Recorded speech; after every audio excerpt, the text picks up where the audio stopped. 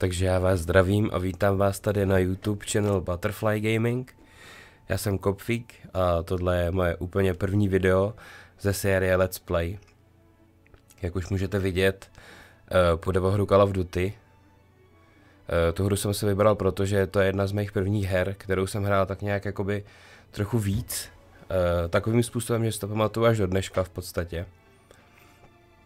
Já teda taky doufám, že mi to natáčení nějakou dobu vydrží protože ono to celé vlastně vzniklo, protože eh, si ze mě kamarádi dělají prdel, že mám spoustu her, který nehraju a tak já jsem se rozhodl, že všechny, nebo aspoň absolutní většinu z těch her natočím a přehraju teda, pokusím se je přehrát až do konce a pak to naházím na YouTube, takže jdeme na to.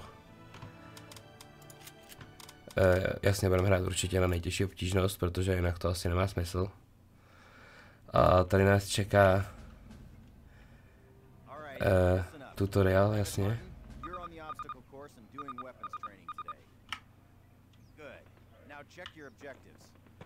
Jasně. Pojď, uh, počítačové hry ovládat, předpokládám všichni umíte.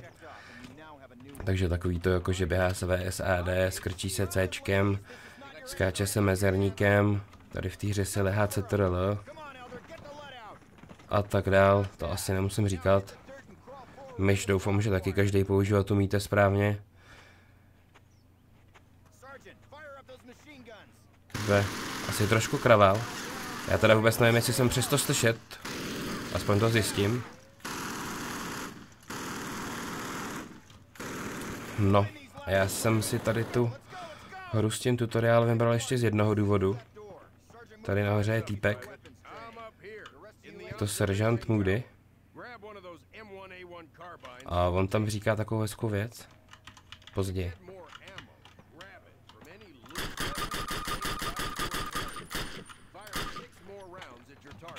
A já bych chtěl, abyste tu věc všichni slyšeli, protože eh, to všichni Češi říkají špatně. A já bych byl rád, aby to všichni říkali dobře, tak jak se to říkat má.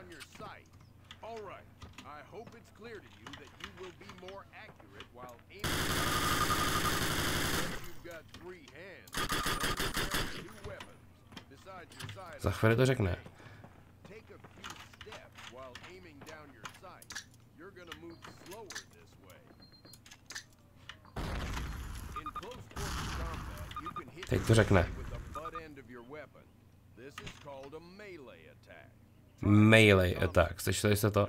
This is called a melee attack.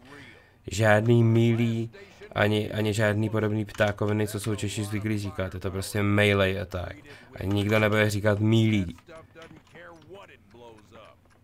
Myslím, že jde říct maximálně milej, milej, myslím, že říct, američani říkají milej. Ah, pecka, Call of Duty, jedna style výbuch. Tak, tohle je asi konec videa a už se na vás těším v tom dalším. Čus.